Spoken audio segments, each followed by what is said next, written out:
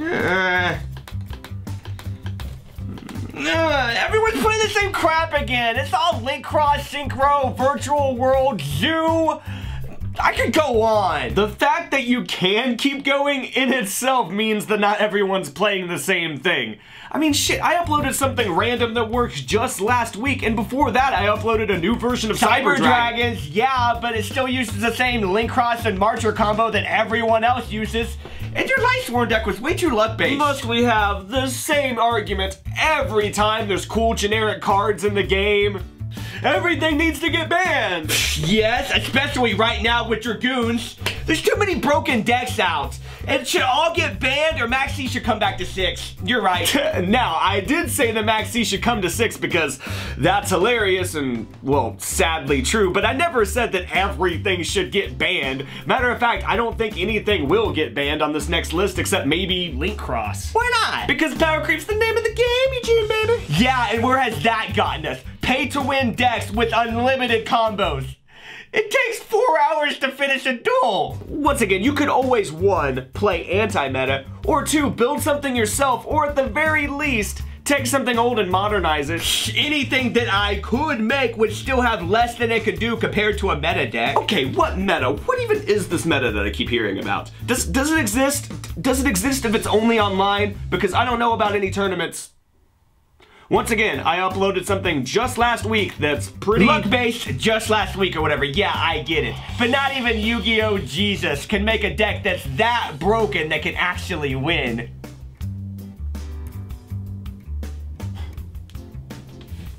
You know, when you're right, you're right, Eugene. I know it. I totally can't power up to, let's just say, 1% and make a deck that's so broken then it's limited by the mechanics of the game itself. No, I can't do that. You thought there was a lot of noise with the combos last time, Eugene? That was nothing! You're not gonna sleep for days now because of your lack of faith. And when you do finally sleep, you will dream of nothing but the stock sound effects of EDO Pro. Jeez, stop! Ugh! Why are you gotta take it that far? For the fans, Eugene. For the fans. It's for the fans, Eugene. It's for the fans. Take the fan out of his room so he can't sleep. Jerk.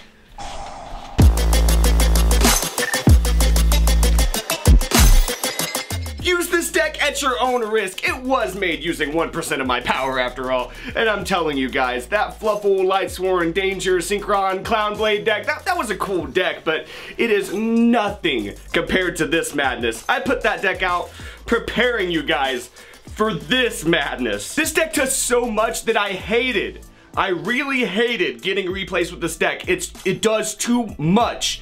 There's too many options and the extra deck is too limited.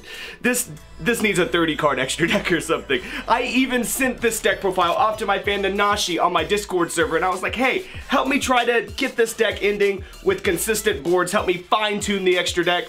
He sent me back replays titled, Is the deck smarter than me? Not bad for a first try, etc, etc. The reason why is because this deck does way too much. Then he messaged me again later and says that we should call the deck Smash Mouth. And I was like, why Smash Mouth, man? And he says, because it starts coming and it don't stop coming.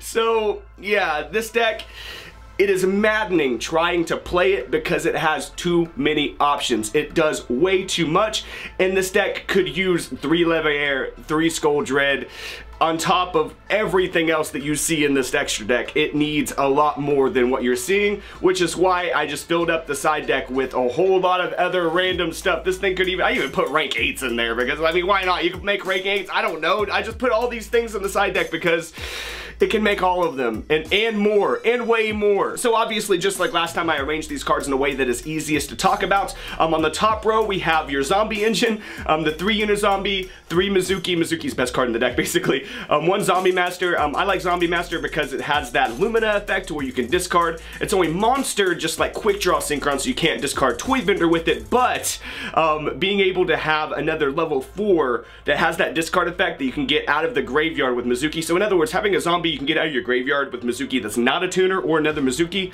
uh, pretty good stuff, and a Zombie Master is just insanely good. Um, I only play one of it though, you don't need any more than one. You don't even need the one really, it's just a really cool card in the deck. The next up, uh, Plague Spreader Zombie. You only need one Plague Spreader Zombie. It's level 2 tuner, enables the Marcher combo, all that stuff. It also pairs well with our honorary zombie, Destiny Hero Malicious. Um, I've included this uh, guy in the zombie lineup since the TeleDAD days because it's level 6. 6 plus 2 is 8. You know, we used to go into Beelze um, back in the day uh, using that combo. I actually have Beelze down in the side deck just to show you can make that in this deck as well. This deck can make I mean, all kinds of stuff. It, it is limited by the extra deck. And I know that I just said the Mezuki's the best card in the deck, but Charge of the Light Brigade might be the best card in the deck because it mills three and then adds a Lumina or a Minerva, which one, whichever one you're missing. Hey, you might want to stop. You might want to stop. Kevin's on the phone. What? He said, he said the new list just came out. Why would they drop it this early? Days. In the middle. He's being an asshole right now. Just, just leave. Just leave. Get the fuck out of here. I didn't mean it. I'm just upset. Sorry. Jerk.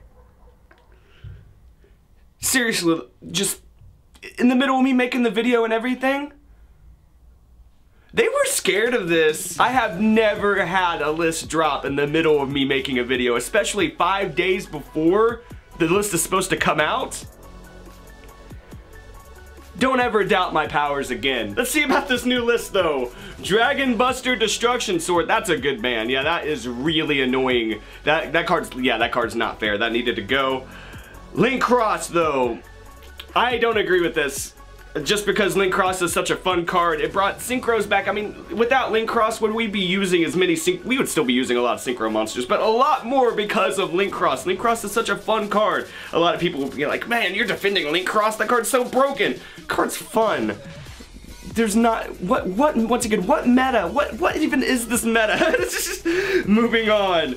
Smoke Grenade of the Thief. Now that one I saw coming just because it's such an old card that obviously has gone overlooked for a long time. Um, be prepared for a lot of those cards in the future. I've discovered uh, uh, several myself that I've thought about buying out uh, that reveal hand and you know all kinds of stuff. Just old Yu-Gi-Oh cards. what I'm saying here is be prepared for just old obscure Yu-Gi-Oh cards to randomly get hit um, on the ban list because they're included in all kinds of different decks for years to come. Be expecting that for a while because um, there's there's the card pool is so vast that people are going to figure out whatever they're going to figure out and they're going to take advantage of it. Just that simple. And Smoke Grenade of the Thief, thief uh, being able to uh, rob from your opponent's hand and stuff is not very fair. It's not fair in GOAT format. It is definitely not fair in, uh, you know, decks like uh, Metalfoes and stuff like that. Uh, moving on, though, um, is that about it? That, I think that's about it. Oh, no, we have True King's Return back to, oh, so back to two, so it's semi-limited. Okay, okay. And then off the list, we have Cir Graff. Okay, so we have full power Burning Abyss now. Three tour guide and everything. Okay, okay, okay. The Farfa's gonna be happy. I, think a lot of Burning Once again, I've stated this in the past. I wish I would have picked it, like, uh, I picked up Burning Abyss back in the day. I wish I would have stuck with it because I would still have a deck. like, oh my gosh, Burning Abyss players that, like, just stuck with that deck from Duelist Alliance on, they're lucky. They're so lucky. but moving on. Because how often do you do you get to buy a deck and it's good for, you know, 20 years? It never happens in Yu-Gi-Oh! It gets banned like a month later. but yeah, uh, Cir and Graff, Unlimited, nice stuff. Uh, Evigishki, a Mind Augus. I, sure, like, yeah, it's not really doing it. I mean, what's Gishki doing or whatever. Um, ABC Dragon Buster, Unlimited. Now that is interesting. That is interesting. Uh, that's a that's a pretty good deck and totally awesome. Yeah, but what what if I mean, is anybody playing Toad Hero? I don't think I've seen Toad Hero.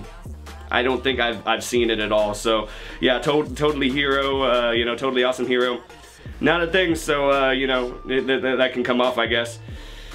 But yeah, 1% of my power is all it took to make a deck so broken they dropped the ban list five days early when for the past two years they've been dropping the list consistently more like five days late. Coincidence? I think not. Actually, I know not. It's almost like I have powers or something, like I'm always saying.